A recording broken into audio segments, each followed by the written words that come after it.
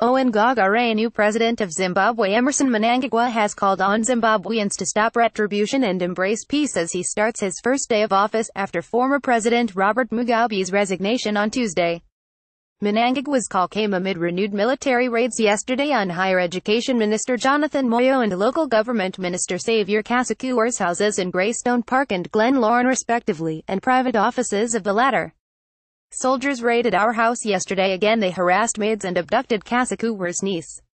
They took all the cars. The staff at home cannot talk, they are all in tears and scared, a family member said yesterday. They also went to Kasukuwere's offices and demanded keys to the safe to get money. Upon failing to find the safe keys, they hunted down the employee who keeps the keys. They failed to find her, but took her sister instead. We are living in fear. We are appealing to the new president to help us and stop this terrorization.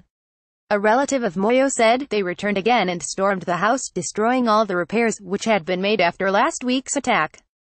They ransacked the house, smashed the CCTV and looted. Mrs. Moyo and kids are terribly traumatized.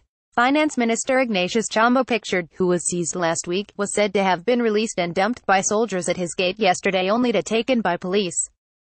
Ignatius Chombo. Chombo was dropped off at his gate last night, but immediately arrested by law and order police who took him to Rhodesville Police Station, a relative of the minister said. We are appealing to new president to rescue the situation it is now becoming a serious humanitarian crisis. There were also moves this week to invade the Mugabe family's Mazowe properties. On Tuesday, Vice-President Phelekezela Mphoko's Choppies supermarket in Mutare was looted by some rogue elements who are celebrating Mugabe's resignation. Chombo, Moyo and Kasukuwere were kingpins of ZANU-PF's G40 faction led by former First Lady Grace Mugabe which was fighting with Mnangagwa's group over Mugabe's succession.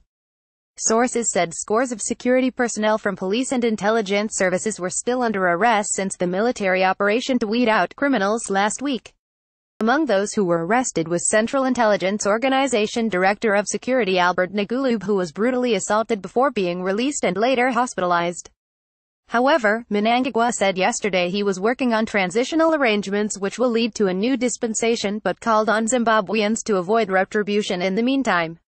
While this is going on, I implore all Zimbabweans to remain patient and peaceful and desist from any form of vengeful retribution. Let us not therefore allow criminal elements bent on destabilizing the peace and tranquility prevailing in our country by either settling political or social scores outside the ambit of law, Mnangagwa said. We are all Zimbabweans and let us be exemplary as we work towards consolidation of our unity and the prosperity of our nation. In this vein, I would implore our citizens to refrain from malicious practices and report any such incidences to the law enforcement agencies for their appropriate legal action.